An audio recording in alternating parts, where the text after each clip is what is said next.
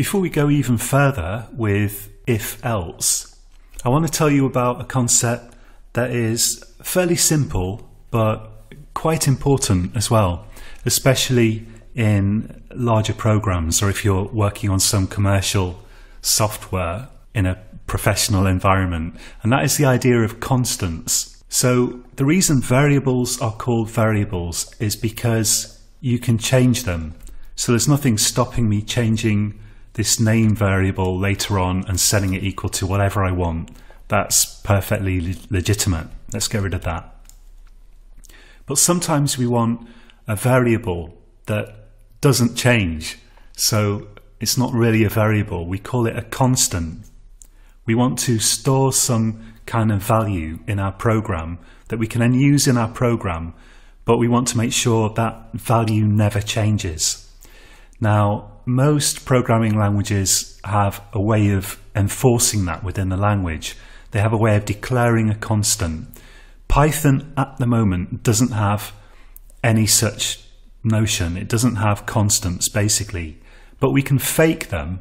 And the fact is that most of the time a fake constant is as good as a real one if you use some coding conventions to highlight what is supposed to be constant. So if we take a look at this program, it's got various strings in it, right? Like this, this, and so on, all of these strings. But what would you do if you were distributing this, maybe selling it to end users, and you wanted to create, let's say, a Spanish version? What you would probably want to do is give that to someone who speaks Spanish and they can create localized versions of all of these strings. So Spanish versions of all the text strings here. But that person typically wouldn't be a programmer. Why hire a programmer when what you need is basically a Spanish speaker?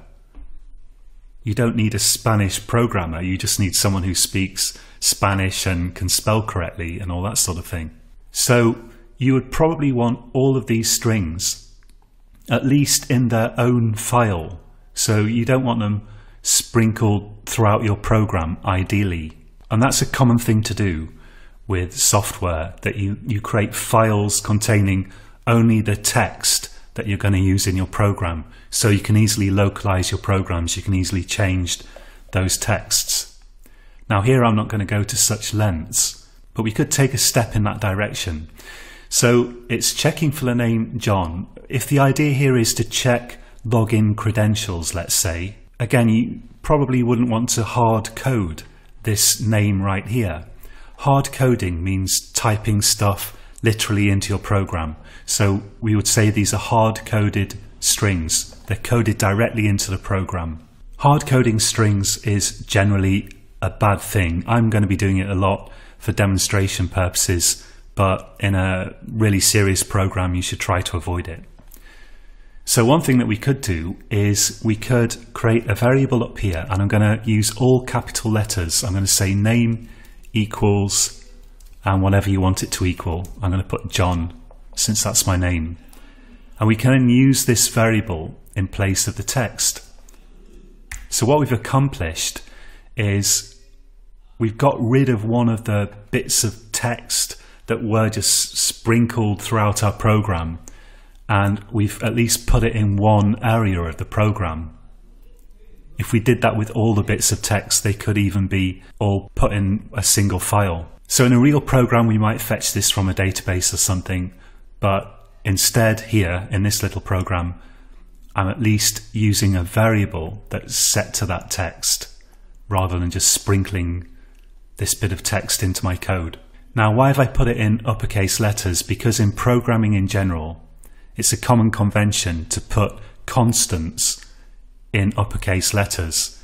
That is, if you've got a variable that is not intended to be changed as your program progresses, then it's a good idea to create the name of it all in capital letters.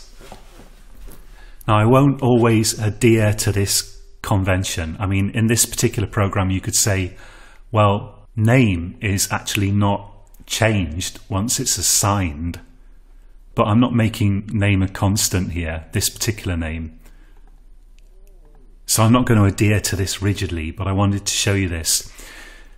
So the bottom line here is that if you've got a variable that you don't want to change in your program, you can give it a name that has all uppercase letters. And that's a signal to you as the programmer that it shouldn't be changed. It's just referring to some value that you need to read in your program, but you don't want to write it, you don't want to change it. And notice that I can have two variables called name if the case is different. Some people would say that was confusing. I'm personally fine with it. But these two are completely different variables because they have a different case and Python is case sensitive. This is lowercase, that's uppercase. Of course, you don't want to go too far with that. I wouldn't normally want to have two variables that have the same name but just one letter was uppercase in one and lowercase in the other. That could get confusing. But here I don't think this is too confusing. This is a completely separate variable to this. You could call it correct underscore name or something else if you wanted to. Also, by the way, this comparison here is also case sensitive. So let's just try this out. If I run it and I enter John with a lowercase j, it says your name is not John, which isn't true. So you have to enter the right case here. We'll look at ways to get around that later on.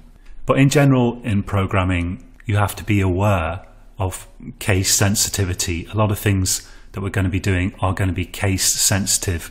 You've got to get the right uppercase or lowercase letters in there. And Python as a whole is a case sensitive language, as most programming languages are. Hello, you've been watching a free sample from my Python and Machine Learning for Complete Beginners course. I'm uploading enough videos from the start of the course to get you started with Python and machine learning. The full course is absolutely massive. If you're interested in it, please click the link in the description. The complete course covers not only basic Python, but also some fairly advanced Python, even some desktop programming stuff, and then goes on to machine learning and artificial intelligence. Until next time, happy coding.